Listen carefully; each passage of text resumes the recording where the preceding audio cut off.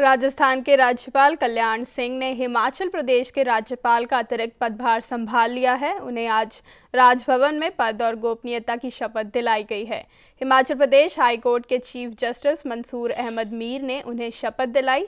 कल्याण सिंह कल शाम शिमला पहुँचे, जहाँ मुख्यमंत्री वीरभद्र सिंह, उनके कैबिनेट के सहयोगियों और वरिष्ठ अधिकारियों ने उनका स्वागत किया।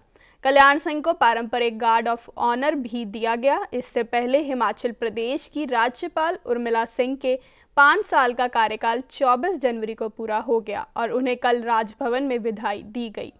उर्मिला सिंह राज्य की पहली महिला और कुल तीसरी ऐसी राज्यपाल थी जिन्होंने राजभवन में अपना कार्यकाल पूरा किया।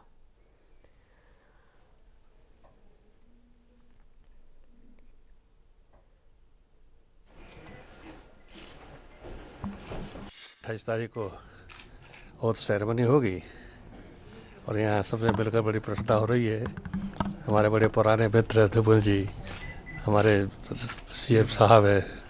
सबसे बहुत अच्छा लग रहा है। आप सबसे मुलाकात हो रही है बहुत अच्छा लग रहा है। हाँ, वैसे भी हिमाचल प्रदेश ये तो देवभूमि है। खबरों की दुनिया में आइए।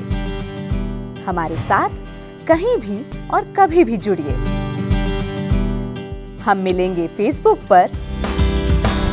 हम दिखेंगे यूट्यूब पर। हमें फॉलो कीजिए ट्विटर पर। खबरों के साथ बने रहिए रात दिन।